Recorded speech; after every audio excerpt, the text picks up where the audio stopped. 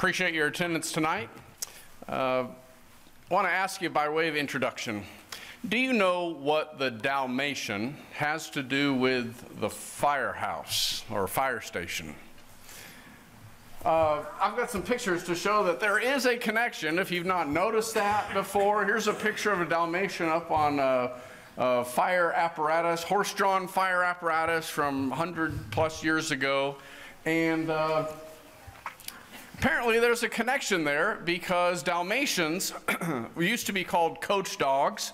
They get along very well with horses. And uh, well, in, I guess the first use uh, that they thought of was to guard against horse thieves. But then, when in the days of the of the this fire wagon, with they needed lots of horses. In fact, San Francisco Fire Department had at one time 450 horses at their disposal. And so lots of different Dalmatians to calm the horses, and they bonded well, and uh, especially when the horses had to be on scene for a long time or at the house for a long time. Uh, and so, you know, that explains why Dalmatians had a part in the fire station back then, but it doesn't necessarily explain what the Dalmatian has to do with fire station today. Uh, I did have a slide with some information that's not important, but did you know that the Dalmatian used to be a siren? Because they would run out in front of that horse-drawn buggy, and uh, and if people would see the Dalmatian running, they would know that a horse uh, and uh, fire engine, what do you call those, apparatus, would be shortly there behind. So it served kind of like a, like a siren. But uh, that was then, this is now, and there are still Dalmatians that are a part of uh, certain fire stations uh, in America. Uh, the station in New York, Ladder 20, has, I don't know if it's one or a number of Dalmatians, but You'll still see it. It's not just old pictures and parades anymore. Why is that? It's about tradition, right? That's what we're talking about. The same reason why in just about three weeks, many of us will reach for our loved one at the stroke of midnight and give them a big kiss. Why do we do that? Why do we do that? Did you know that that is a tradition that is rooted in a superstition that in, or, in doing so, you would ensure that the relationship lasted for the rest of the year. Who knew that you had to do that to ensure such a thing? And with all the noise, I could show you a video of what took place at the Rice House last year. It was crazy. It was uh, amazing with the, the kazoos and all the screaming. Uh, there was a time where people used to believe that the evil spirits needed to be fended off with noise and firecrackers. You thank the Chinese for that. And they would scream and keep the evil spirits away. Same way with the saying of bless you after a sneeze, right? Lots of traditions we do. If we knew why people did that originally, I wonder if we'd even do it anymore. But, you know, uh, according to my research, uh, it was believed that man's soul could be inadvertently thrust from his body by an explosive sneeze. And it makes sense, right? Because spirit and breath are kind of synonymous there. You expel too much out of it, you might lose your spirit. And the bless you was a protective oath uttered to safeguard the temporarily expelled and vulnerable soul from being snatched by Satan. You don't say bless you if you do say it. For that reason, I'm sure and there's many other suggestions and beliefs that were a part of that. I believe that you're, you're getting the sense of what I'm talking about, though. We all keep traditions. Some of the traditions that we keep, we don't even know why we're keeping them. They wouldn't make sense to us if we knew. Uh, I'm sure hiding eggs is in that realm. So, what is that all about? Uh, but we do it, it's fun. Family traditions, especially this time of year, they're meaningful. They don't have to be significant or, or major in order to be meaningful, uh, but yet we all have something that we hold on to and treasure and is heartwarming for us. But in the religious realm, it's not all about cute and feel good stuff. Uh, religious realm, this is a serious topic. The Apostle, Apostle Paul enjoined upon us certain traditions as we studied a couple weeks ago or last week uh, in 2 Thessalonians 2.15 that you need to keep these traditions which were handed down by the apostles and uh, felt so strongly about it that in 2 Thessalonians 3 verse 6 he said that in the name of the Lord Jesus, that, that the Thessalonians should withdraw from every brother who walks disorderly and not according to the tradition which he received from us. And then in 1 Corinthians 11, verse 2, he says, Now I praise you, brethren, that you remember me in all things and keep the traditions just as I delivered them to you. But you know, those passages are the exception to the rule when it comes to tradition in the New Testament. The word uh, paradosis uh, is a uh, uh, handing down or handing uh, aside uh, something. And tradition, in fact, when Jesus says the traditions which you hand down, if you look at the Greek words, he's basically saying the traditions that you tradition, because that's what it is to, to pass it down. And so of the 13 times that it's used in the New Testament, 10 of those times are used in a negative connotation. And so traditions are not all created equal. And we need to, of course, make sure that we understand the distinction between uh, a tradition that is handed down that we need to keep and one that we need to be uh, aware of and even avoid because of its human origin. In addition to that, I want to talk about what we broached this morning in our Bible class concerning uh, just the way that we have come to, to do things by manner of the, the length of time that we have grown comfortable with a certain practice, that things that can become uh, a tradition uh, in sort of an organic way like that without necessarily writing them down and adopting them uh, or ratifying them, that they just become something that we're comfort comfortable with. So that's, uh, that's coming up uh, in just a minute. First, I want to give you a little background to why uh, the Jews and Pharisees and scribes got in trouble with some of their traditions. And I wanted to give you a little uh, insight into the Pharisees as it's written by uh, commentator Barnes. historically, from 175 BC, and uh, he, he, he, paints a picture about the Pharisees that, in, in and of itself, is not all that bad. Some admirable characteristics about the Pharisees. He says in 175, Antiochus Epiphanes of Syria made a deliberate attempt to stamp out the Jewish religion and to introduce Greek religion and Greek customs and practices. It was then that the Pharisees attained special prominence as a separate sect. The separated ones were the men who dedicated their whole lives to the careful and meticulous observance of every rule and regulation which the scribes had worked out. This they did in face of the threat directed against uh, Judaism. And so that's admirable. We would commend them for their desire to be careful and meticulous in their observance of the law, of course.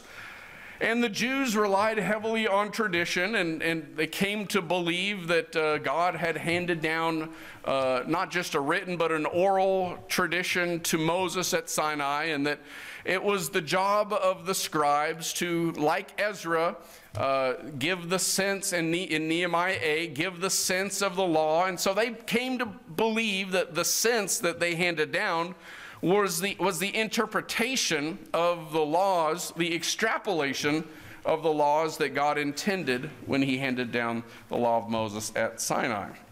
And there's a quote from Phil Roberts uh, where he points this out in, a, I guess it was a bulletin article that he had written. Uh, he says their, their hedge was no longer just a hedge, it was a law, and they would condemn any who broke it. They even began to claim that their oral traditions had been delivered at Mount Sinai uh, right along with the written law. The lesson for us is, is obvious. Now, I want to share with you some of the laws that were handed down, as you can read if you got a hold yourself of a copy of the Mishnah. And it's really eye opening how, how careful and meticulous they were in defining what was authorized and what was considered a violation. Okay, so, uh, and by the way, he makes reference to the hedge there that is no longer just a hedge. Uh, but oh, in the Mishnah, it is explained that the purpose of the, uh, of the scribe was to make a fence uh, about the law. That is to put around the law a wall of restrictions and injunctions which the Israelite would have to break through, that he would have to he get into this danger zone of over their restriction, over their fence, uh, uh, kind of a zone where they're still safe in the eyes of God, but by means of uh, protecting them, they've created this, this fence. One of the examples in the in Mishnah that I thought was interesting was uh, rooted in the command in Deuteronomy chapter 6 and 11 pertaining to uh, fathers and mothers instructing their children. You remember in Deuteronomy 6, verses 5 through 10, how you should talk to them as they go about here and there, as they lie on their beds, and uh, that it should not depart from their eyes. All of, all of that, right? Deuteronomy 11, though, uh, in verse 13, we're not going to read it all, but the text is from 13 through 21. You get, in the, you get the phrase here where it says in verse 19, You shall teach them to your children, speaking of them when you sit in your house and walk by the way, and when you lie down and when you rise up. And the question was asked then, What time period is defined by the laying down of the, of the child? When they lay down, is at what time during the night? Uh, could that be accomplished and still be according to the law? And here's a quotation. It says, they, they learned, the learned say until midnight, and Rabbi Gamaliel said until the morning dawn.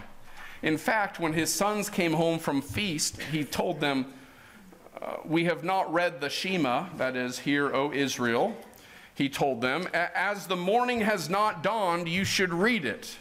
Not this only, but wherever the wise have said until midnight, the command reaches to dawn. And why have they said till midnight? In order to keep man from transgression.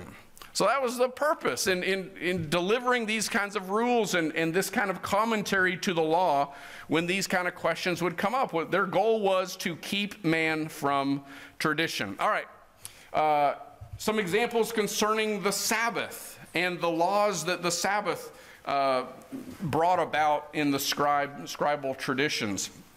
Uh, again, I mentioned the Mishnah, which is divided into six parts. The section, second section dealt with the festive seasons and, and uh, in, concerning the Sabbath day, there were 156 pages that dealt with laws pertaining to the Sabbath. Among them are uh, laws pertaining to the burden and how it was identified. It was identified by, first of all, by its weight. The weight of a dried fig is a burden, but a half a fig is not a burden. Point number two is that if you should carry two half burdens during the same day, they add up to a full burden and therefore sin.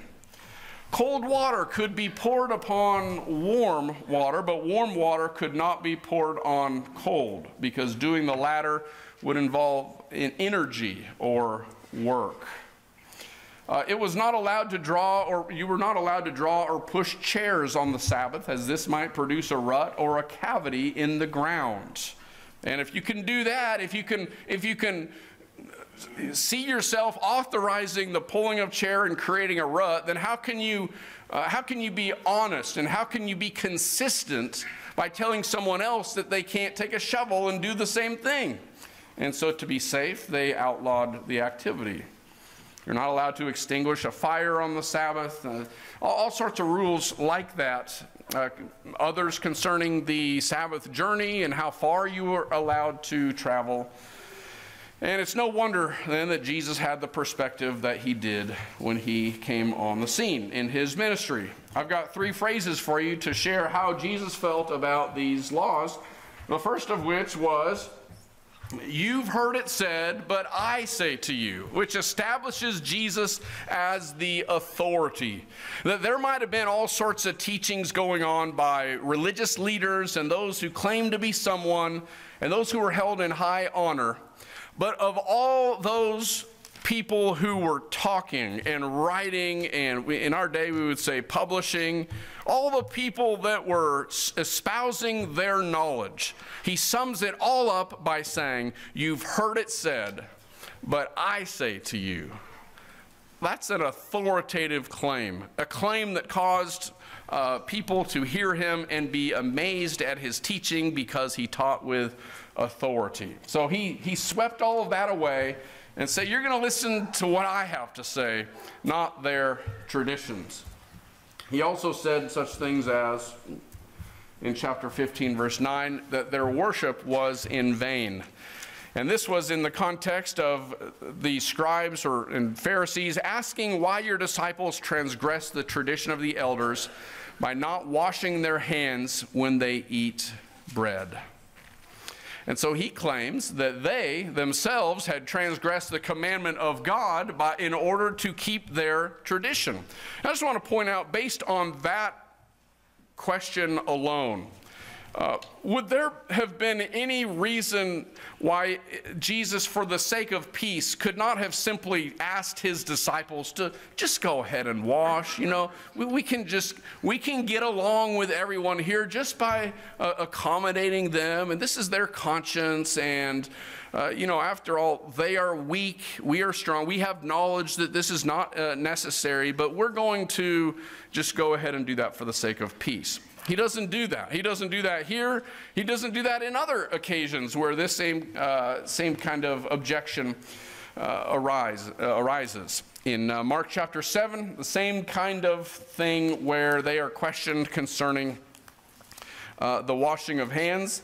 And look what he says in verse 13 in Mark chapter 7.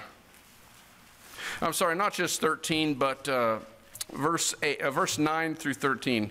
He said, All too well you reject the commandment of God that you may keep your tradition. For Moses said, Honor your father and your mother, and he who curses father or mother, let him be put to death.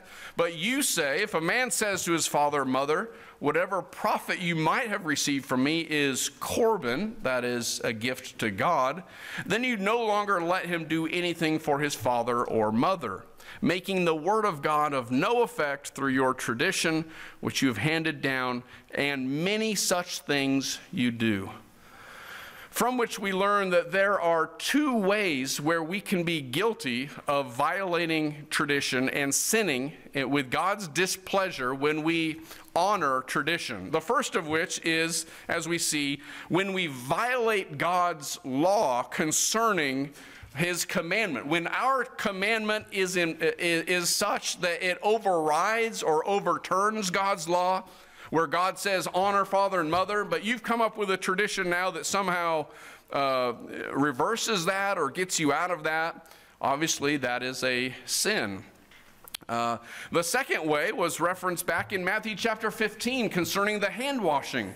And the second way by which we can be guilty of, of sin with regard to tradition is when we allow a tradition to take on the authority of the Word of God and begin to require it of other people as a matter of, of acceptance or fellowship. That is, if you don't do this, uh, you're not going to be accepted, or, or, or by judging people as unfaithful for not uh, abiding by their tradition. So it doesn't necessarily have to be a, a uh, contradiction in the law of God with regard to a command he's already given. We're basically talking about the difference between binding what God has not bound and loosing what God has not loosed. Uh, in addition to his attitude as seen in these texts, it's also pretty evident. Uh, well, Matthew 23 16 says, that they are blind guides and they are leading the blind, and he says, as a result, both will fall into a pit. Here's uh, one of my favorite examples from Mark chapter 3, which was read for us at the beginning. Here's a man with a withered hand, and because of their rules pertaining to the Sabbath command, in order to build a hedge about Israel and to keep them from transgression, uh, they would have deemed what Jesus did for this man as working on the Sabbath. Surely, if carrying a fig is work, then, then what he did here was work for him as well. So, look at the attitude of Jesus as seen in this again, watching them closely to see whether they might accuse him. And it says uh, in verse 5 when he had looked around at them with anger, being grieved by the hardness of their hearts, he said to the man, Stretch out your hand. And he stretched it out, and his hand was restored as whole as the other. To me, that is uh, really, really manly. that, that's really brave. That is Jesus going rogue on Pharisaical tradition. And I admire that he was willing to do that because, as I said in the other example, it would have been likewise very easy for him to to, uh, to get around this and, uh, and to say to this man, Look, you've lived how, this long with a withered hand. It's just one more day. Why don't you meet me back here tomorrow and we'll get this taken care of? But he doesn't do that. There's a message here. Jesus was not going to uh, jump through their hoops or, or kowtow to their, uh, their, you know, their authoritative and uh, oppressive uh, determinations or interpretations about that law. He was going to pursue the truth. Uh, and no matter what the cost might be. Same indictment as uh, Matthew chapter 15, verse 9 talks about. In vain they worship me, teaching as doctrines the commandments of man. I think you know good and well that that would be very possible, and we warn regularly about that. That's that's kind of a trademark of ours, isn't it? That's our verse. You can't use our verse. We might be tempted to say, you can't use our verse against us, but of course the verse is going to slice both ways. We need to make sure that we never act in such a way that it could be used against us. But we, we preach about that. We, books are written. I mean, I was looking at one this week uh, by Alvin Jennings. You're familiar with it, I'm sure. Traditions of Men versus the Word of God. You've got two columns there Word of God giving you the truth, uh, traditions of men from various denominations listed there. And we, we amen heartily. Uh, I'm not aware of anything that I wouldn't amen uh, in that book. Uh, although don't quote me on that, I can't be responsible for everything that was written. It's not inspired, but we certainly, uh, I think, would echo the sentiment uh, of what that, that work entails. But we recognize also that we are creatures of habit and grow accustomed to things that we've done for a long time. It'd be possible for us to develop a tradition. We need to make sure that we guard against uh, a uh, a uh, loyalty to that kind of tradition that would cause us to go too far with it and fall under the same kind of judgments. I'm going to give a few examples here, and I should mention at the outset that I have no intention of attempting to change any of these traditions. I'm not, uh, there's no secret agenda here. Just in my 25 years of Christianity, have observed some of the things that you probably have as well. Uh, and, uh, and I thought I should mention that uh, as, as we start. Um, uh, the other thing I wanted to mention, I knew there were two things about that. I'm not trying to change them. Number two is that the things that I have thought of to list down here, I'm not thinking that they're at all unscriptural in any way, that they are certainly approved and, and authorized eh, by means of general authority and as an expedient way of going about the business that we're doing in glorifying God. But among the list of things that I was considering as traditions of churches of Christ are the closing prayer, for example. That's, I think, something that if you go from church to church, you can feel pretty comfortable in knowing that that's how, that's how the church is going to be dismissed. That's just how it happens, right? And we recognize, though, that uh, in Matthew 26, verse 30, when the disciples gathered together with Jesus, there are, there are, verses here that say, and when they had sung a hymn, they went out to the Mount of Olives. Uh, what is that? That's the closing song. and, and there's no prayer there. Is, is that okay? Could we do that? Again, not asking to implement that, but could, could we, if, if that were a thing that uh, felt passionately about? Well, sure, that, that'd be authorized by Scripture. Uh, and actually, I'm aware of a congregation that did, in fact, I was a part of a congregation that decided they were going to have a closing hymn and be dismissed. And, uh, you know, wouldn't you believe one, one older fellow in the church, as we sang our hymn and got, he stood up and started praying. Can you believe that that would happen? Uh, you, are not surprised, probably, right? Because he, he's accustomed to the closing prayer, and he's going to have himself a closing prayer. Is that appropriate? Probably not. Probably not. It's kind of a kind of a belligerent thing to do, and your elders have said we're going to sing uh, going to sing a song and be dismissed. Uh, not sure that that's a real appropriate way to handle that.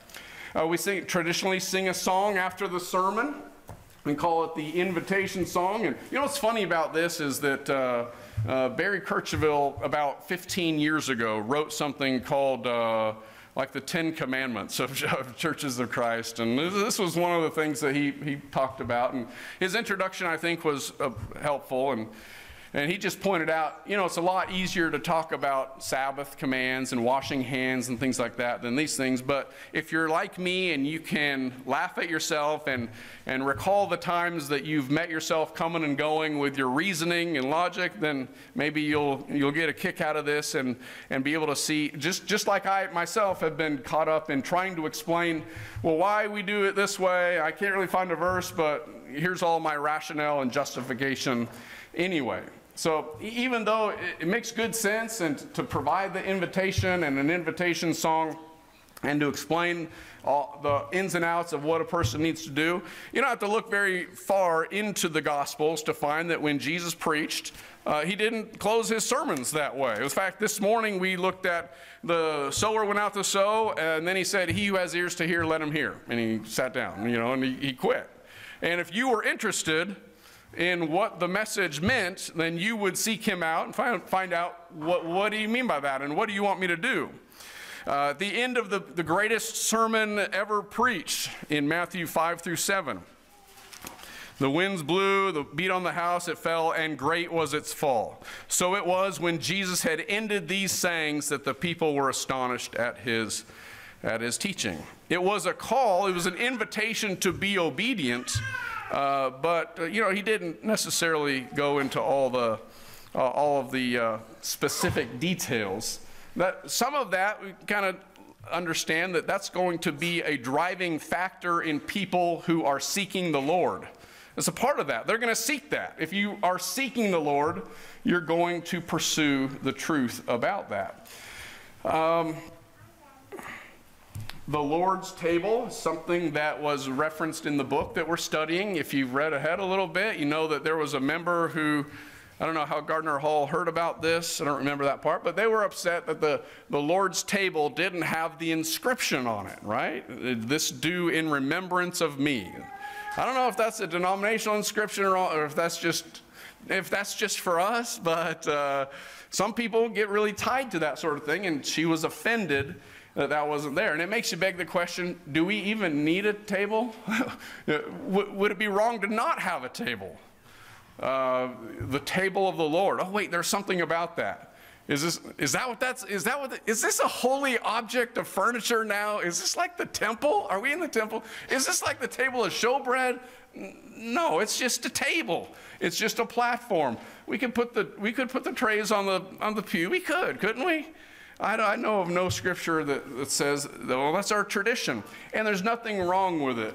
Uh, but we're going to talk about how we could make some of these things wrong by, by pressing them. Brother Hall also talks about the designations on the sign. Uh, and of course, you're aware of the fact that there are three that are approved. There's either uh, just Church of Christ, uh, there's the Church of Christ, and then there's the the geographical designation Church of Christ, right? And yet at the same time, we'll be very careful to teach that there's no official name given for the church.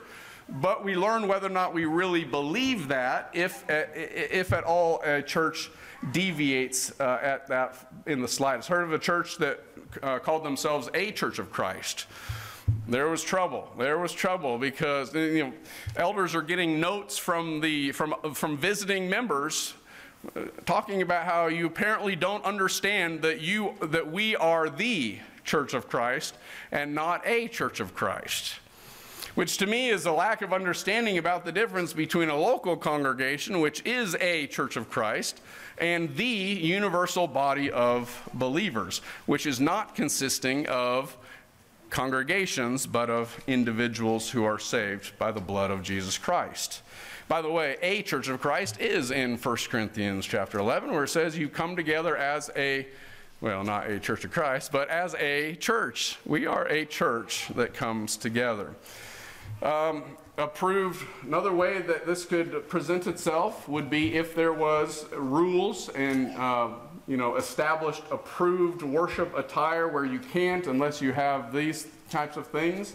Uh, number of meetings on, on Sunday. I was thinking about a scenario where uh, imagine that you are Imagine that you are uh, living in the 1940s before the war, and for 50 years that congregation has met from 9:30 to 11:30 on Sunday, and then 1 to 2 after lunch. I don't know if they ever did that back then, but I've heard about that. Anyway, stick with me. 9:30 to 11:30, you go to lunch, you're right back 1 to 2. Then the war started, and most everyone had to work seven days a week during the days, but they were off at nights. Can you imagine a church where they decided because of that that we were going to meet instead of two hours and then one, that we're going to meet three hours from six to nine Sunday evenings? And that that's not going to cause a problem for those who've done this for 50 years. Can you hear the rhetoric already? Oh, you're not going to wait till the very end. You're just going to, what do you want to sleep in? You, uh, you really want to just sleep in, aren't you? Or, or, and, you know, we can do that, whatever the change is in, in that front. And uh, one, of the, one of the things that I think we need to uh, point out is that, that, and I got a few other examples. I guess we'll uh, hit those and then I'll move on to that. But uh, auditorium layout was something else that I heard of where, you know, you got to have this kind of layout where, you know, it would be wrong. Some church wanted to meet in a circle or something. And I guess in the olden days, I think they used to have a platform and then people would be all around the platform and preachers would turn around. I wouldn't feel comfortable with that because they're like looking at my back and all. I kind of like to have you all in front of me so I can see you. But, uh, anyway, by, by having a, seeing a church that does that and saying, well, that's different than what we do, uh, and I know a denomination that does that, it must be liberal. I'm not sure that we're really, we may be a little bit more like Gardner Hall when he talks about unsound logic than we are in actually talking about what scripturally uh, matters. Um, all right, so three suggest or three points about um, three points about justifications apart from Scripture that I think we need to be aware of. First of all, one of the appeals that we and I have made in the past is, and it's not always a bad thing, we just need to be aware of what's happening. Uh, and the appeal to, well, this is a tried and true method, and that smart men in the past have already decided this for us, and it was good enough for them, so it should be good enough for, for us. Uh, to which I want to I want to tell you about the story about the woman who, who always uh, cut off a couple of inches of her meatloaf before putting it on the serving plate. And her daughter asked her why she did that. And the mother said, Well, I don't know. My mother always did it, and so I do it. I never asked why. So after asking her mother why she cuts an end off of her meatloaf, her mother replies, Because my baking pan is two inches longer than my serving plate. And so that makes good sense. And all these t- years, uh, mom was cutting it off as well, not knowing why. She just did it. She just went along with the thing, not asking questions. And uh, in fact, you can ask Brother Littmer tonight. He was telling me while we had lunch that he was talking to an elder one time uh, who attended a no class church. And he admitted to him that he didn't even know why he was a member of this no he didn't even know why he's against classes but he's an elder of this church that is opposed to having bible studies so you got this tradition it doesn't make sense but you just follow it out of loyalty to the past and uh, I would say that we should work out our own salvation and, and not allow others to draw conclusions for us.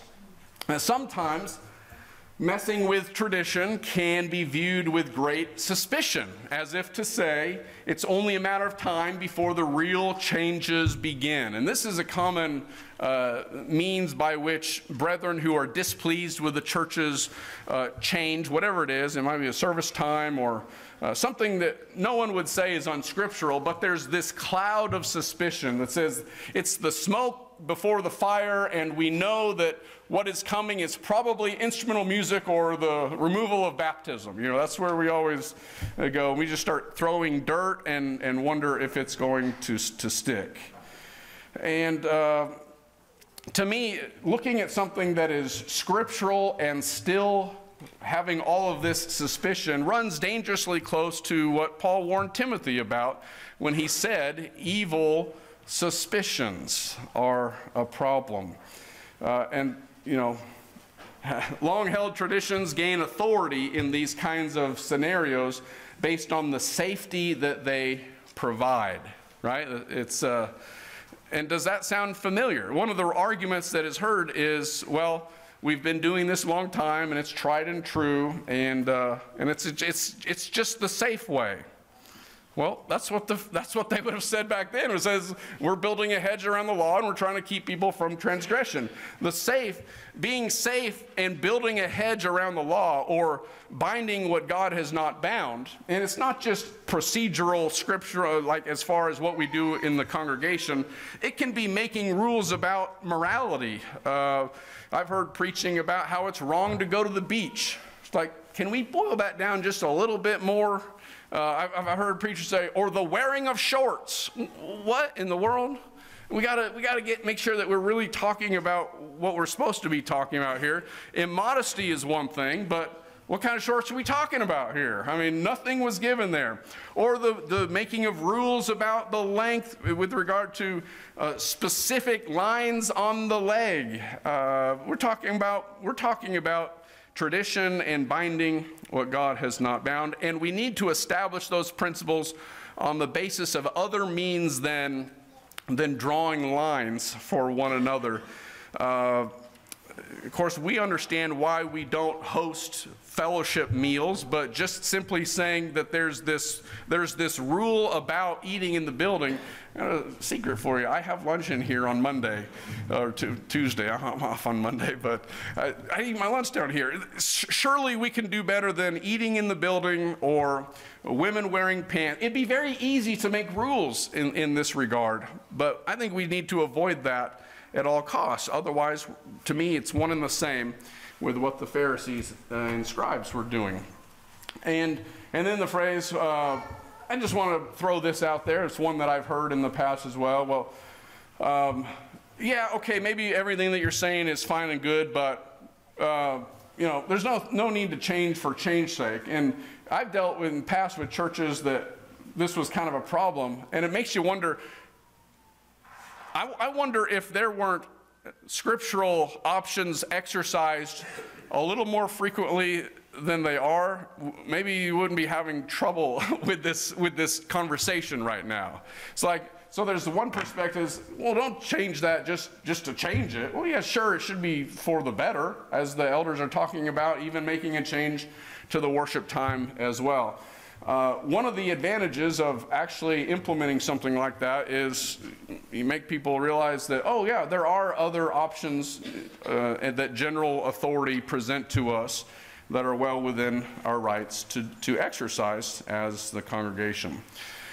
My time is clearly expiring. I just want to conclude by saying, how do you know you've crossed the line in these things? As I said, I'm, I'm not proposing any changes uh, per se of any of the things that I've mentioned here. I'm very happy with the way things are. Uh, but we know we've crossed the line when we begin judging and being critical of others who are exercising their freedom to perform something that we can't say is unscriptural but we need to be very careful about this, uh, this, this evil suspicion or thinking that it's only a matter of time before they have uh, gone off the deep end. Uh, and you've got a lesson, I don't know when, but uh, if you've looked at Joshua 22, where the half tribe, uh, the two and a half tribes are building an altar on the east side of the Jordan River. One huge big misunderstanding that takes place. A lot of evil suspicion and judging that's going on and come to find out uh, the one side didn't know exactly what was going on there and they jumped to conclusions. And if they had just taken the time to figure out what was going on they would have realized there was no need to no need for war that, that everything was okay and that they were all on the same side. And, uh, and thanks be to god that that worked out and that was the case of course, our purpose is to give glory to God, and that's why we examine things like this, so that we don't end up on the wrong end of tradition. We don't want to be married to tradition, we want to be married to Jesus, and, and make sure that it's the right tradition, the tradition that came from God and the apostles. Uh, I do welcome any. Uh, I do welcome any uh, input you've got or questions. Uh, I, I, know that this is kind of a touchy subject. Uh, Sabbath and hand washing is so much easier than those kinds of things, but uh, look forward to hearing what Gardner Hall has to say about them as well. So, hope that's helpful to our study that's coming up, and that might be a good opportunity for you to uh, mention what you'd like to talk about as well next Sunday morning. So, appreciate your kind attention. We're going to conclude with a song of invitation and. Uh, we want to invite anyone in the audience this evening uh, to uh, think close, carefully about the words of the song. And uh, if you're convicted by the power of God's message, which is the power to save, we stand ready and arms open wide to welcome you uh, to the front so that we can help you if you need to confess your faith in Jesus and be baptized, or if you need to ask for prayers. We, we encourage you to come forward now while we stand and sing.